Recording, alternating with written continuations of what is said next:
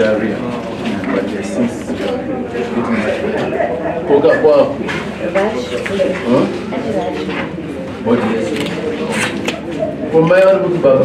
vakaenda ku takaenda kunhamo ndiko ndadzoka kubasa saka vana tatakasiya kumba tichiti vana vechikoro ndiko ndasikuona mumwe mwana asiri kuita zvakanaka vanangoya neamai vacho vari kunhamo Okay.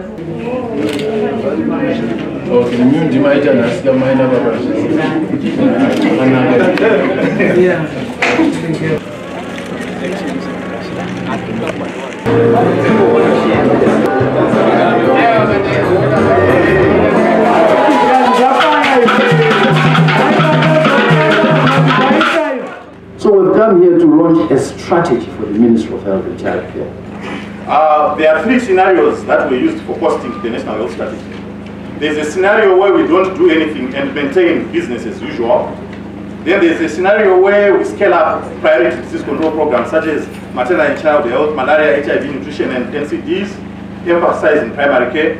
And then there's the third scenario where we go out, all out, and uh, implement our plans as planned, improve the health service infrastructure, get more staff, train more people, recruit more people. So the scenario one uh, would, cost us one billion three hundred six million five hundred thousand. That's scenario one. Scenario two would cost us one billion three hundred twenty-five thousand one hundred three hundred twenty-five million hundred thousand. That's in 2017. And then the third scenario would cost us one billion five hundred fifty-nine million and four hundred thousand dollars. So, Honorable Minister, I think it's very important that uh, these scenarios and these figures also are discussed and debated at the highest levels, given that our 2017 budget is 282 million, of which only 49 million is towards operations, so that we are able to implement this strategy and get the benefits that are projected, the different levels of investment have projections in terms of reduction in morbidity and mortality for the priority conditions. So it's costed, and this is the first time I've seen a strategy in health that has been actually been costed.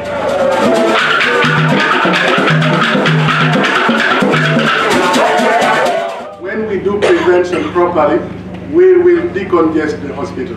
And that's the message I want the media to know. And I think I've also told the minister, you are a minister of health, not minister of diseases. Minister of Health, spend more time keeping people healthy. That's what we have seen here today. Congratulations. If you do prevention, you know that in four, uh, 10 years ago, 70 to 80% of all hospital admissions in the medical wards was due to HIV. Now, because people are getting ARVs, those people are not coming to be admitted anymore. So that is part of the decongestion that is happening.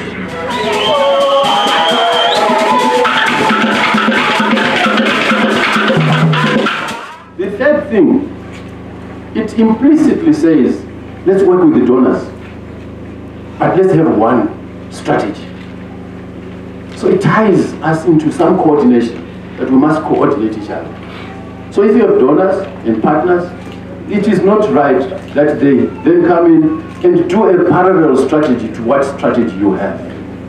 So we must coordinate our strategies. They must come to the strategy that is national. And you are quite right, Dr. Okello. Once you have got a strategy like this, it's much easier now for partners, for donors, to then say, ah, how can we help you? So it is important for donor coordination, for resource mobilization. So this document to me is so, so critical.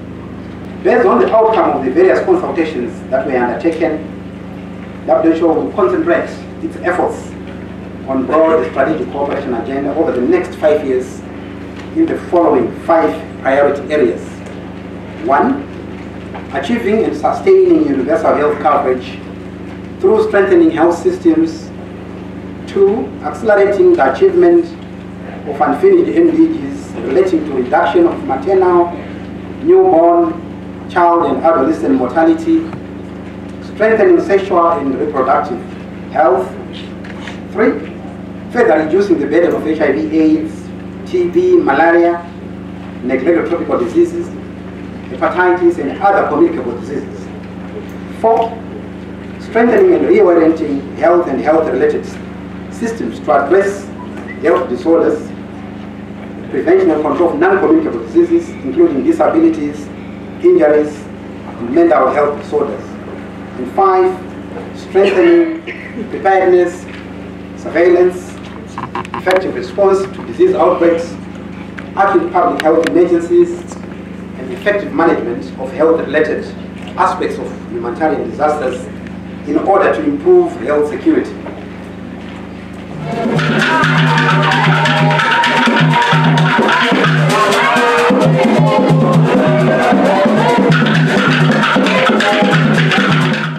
Uh, in 2016, the UN family has already started spearheading, uh, uh, led by led by UNICEF, UNFPA, WHO, and others, with the government turn the corner from transition toward a medium to long-term health program by launching the Health Development Fund.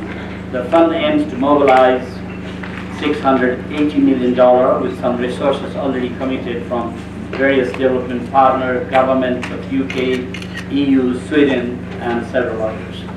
As such, the launch of the national strategy is timely to, to steer ongoing health program, including health development fund, and build on the gain achieved over the last five years. For example, the program uh, support facilitated by UNFPA, UNICEF, WHO on reproductive, maternal, neonatal, child and adolescent health has contributed to the reduction of maternal mortality by 50% in the last five years. This is a great achievement led by the Ministry of Health. Government with support from the Global Fund, USAID, PEPFAR, UNDP and others currently provides uh, free HIV treatment to nearly a million Zimbabweans, resulting in a steady reduction the prevalence rate from over 29% to around 13.6 or 7. Uh, WFP and UNICEF have been supporting effort in nutrition, water, hygiene and sanitation, combating malnutrition and water-borne diseases respectively.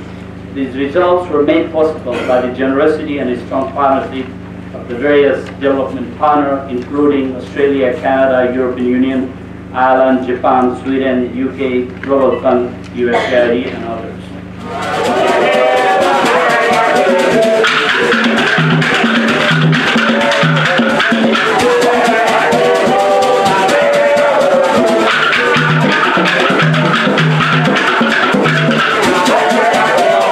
Also talks about what we call universal health coverage. Universal health coverage, you in order to must be covered by health.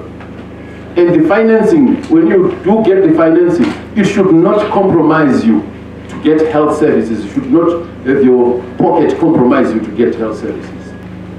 Moving towards universal health coverage is an important aspect of this strategy. Reorienting conventional care towards people-centered care. We need to move from individual to people-centered care.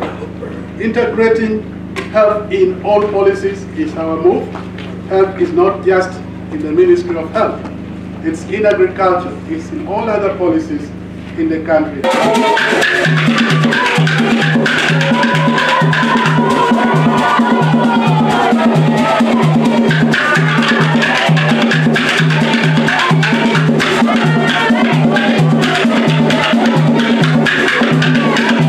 For us, our purpose is here. Most important thing that came out of our new strategy is alignment with the constitution of Zimbabwe. Now health is now taken as a right in the constitution. And the questions are now being asked, what does that mean?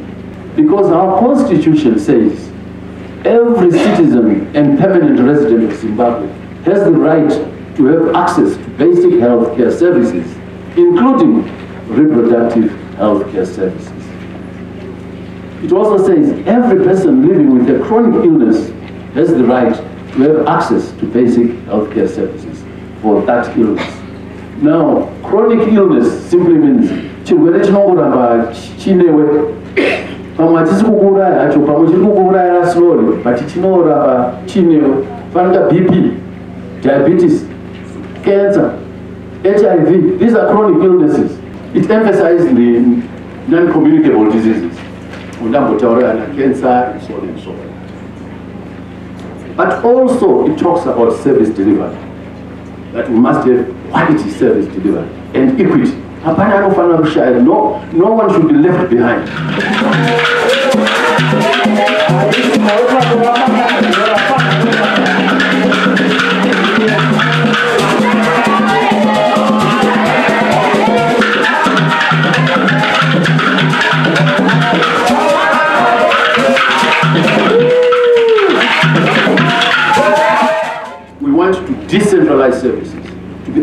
have health posts, to be able to have more doctors, to upgrade my village health workers, so that the allowances of $14 that they get per month is put up because they are doing so much. So much work that they do. And we don't often recognize them, uh, those issues, and this document addresses that. Tine shortage yemanesi, my institutions, our nurses are few. We need more nurses. Now I know that we have got 4,000 unemployed nurses. Votiri kutraina, vakatrainwa muno munyika. But ndine nzvimbo dze-8,000 idzo ndingadi. Would want to absorb 8,000 nurses, but we can't. Ndonyaya mingechiti what you're saying, Dr. Oker, that and, uh, and Dr. Parajuli, that we must continue to talk to Treasury so that we have more posts, not only of nurses, doctors, all health professionals. So I think this document, it goes a long way. Indeed, I, I felt that it was important to launch it in Murewa. Not because I come from Murewa, but Murewa is a very progressive place. So I, I decided to go Murewa. I wish to thank you, and now I want to officially launch the National Health Strategy of Zimbabwe 2016 2020. Thank you.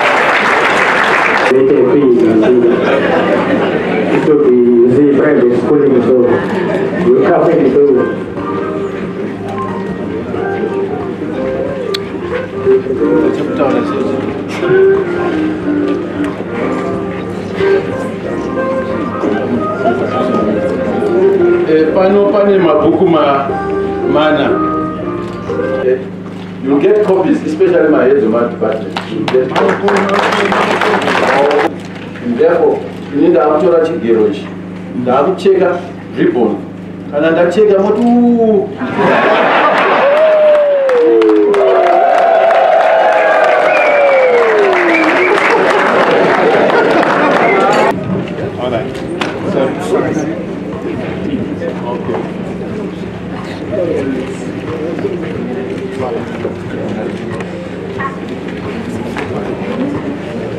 Thank you, doctor. Thank you very much. Thank you very much. Congratulations. Thank you. Thank you. We're committed. Thank you, doctor. Okay.